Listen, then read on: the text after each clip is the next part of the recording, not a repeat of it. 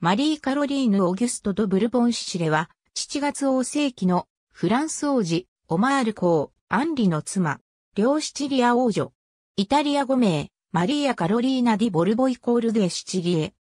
マリー・カロリーヌ・ド・ブルボン・シチレ、フランツ・ビンター・ハルターが初代両シチリア王フェルディナンド一世の六男である、サレルノ公レオポルドと、オーストリア皇帝フランツ一世の娘のマリーア、クレメンティーナの娘として、オーストリア帝国のウィーンで生まれた。母方のおばには、ナポレオンの日となったマリーア・ルイーザがいる。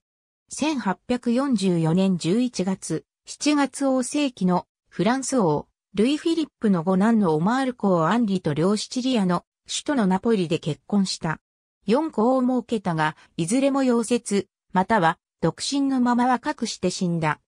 1869年、亡命先のイギリス、トゥイッケナムで肺結核のため死去し、フランス北部のドルーにあるオルレアン家の人々が多く眠る墓所に葬られた。夫婦仲が良かったとされ、アンリはその後再婚せず、独身を通した。アンリとの間に4子を設けた。ウィキメディアコモンズには、マリー・カロリーヌとブルボン・シシレに関するカテゴリーがあります。ありがとうございます。